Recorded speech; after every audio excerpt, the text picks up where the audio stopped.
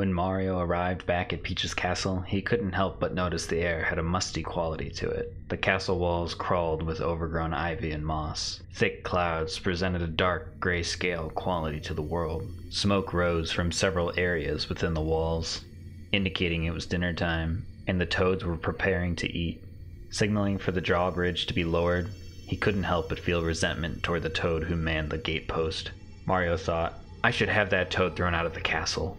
Horsebacked men should be rallying around me to see my return safely. Not that I need them. Some goddamn respect is in order around here. When Mario was crossing the drawbridge, a toad ran out to greet his safe return. About time someone recognized my arrival, jeered Mario. I, I, I'm sorry, Sir Mario. It seemed the gate guard saved some shrooms for his night shift appointment, and he passed out on the job, stammered Toad. Have him brought to my chambers tomorrow. He will spend the remainder of the night in the dungeon. Sir, don't you think that might be too harsh? With a quick, intense glance, Mario shut Toad up in an instant. Nobody would defy his order, especially not a mere Toad. This kingdom was barely being held together amidst all of the chaos that permeated the world. If Mario allowed the Toads any mercy, it could mean the end for everyone. Where is the princess? whispered Mario. N- nobody has seen her for several hours. Everyone thought she had left with you on your mission, said Toad. Anger shot through Mario's face as he bolted toward the main castle chambers. Flying up the stairs, he began to feel an intense panic building inside him. As he entered the main chambers, he threw open the door to find an open window and a note written in blood. The note was scrawled in the ancient language of Orasfera. Though Mario could not read the forbidden language, he could feel its power seeping into his mind. He began to hear whispers saying, Hey Mario, but our princess is in another castle. But our princess is in another castle. Come to Koopalingo. Koopalingo. Mario ran from the bedchamber back to the gate. He crashed into a couple of servant toads, but he paid them no mind. He ran to Luigi's hut to look for some herbal healing. The whispers were beginning to drive him insane, and he needed to find herbs of the old ones to remain himself. After finding Luigi's stash, he consumed several herbs before falling into a deep sleep.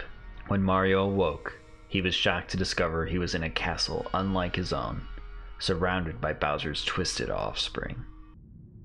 As Mario entered the first chamber, Morton confronted him. Within the chamber itself, Morton had prepared to deal with Mario using two fire bars and a red Mecha Koopa. Morton himself was just out of reach, and Mario needed to find a way to eliminate him. Consuming more shrooms of the old ones, Mario gained the strength he needed to fight back. As he ran away from the fire bars and Morton's magic, he realized how he would kill the Dark Koopaling.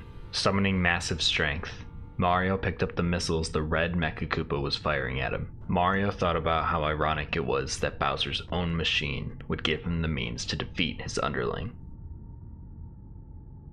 After hurling the missiles at Morton, Mario managed to finish him off. Taking a moment to breathe, Mario thought back to how he got here. He thought, this must be a dream of some sort. But if it's not, then I may be able to gain some intel on Peach's location.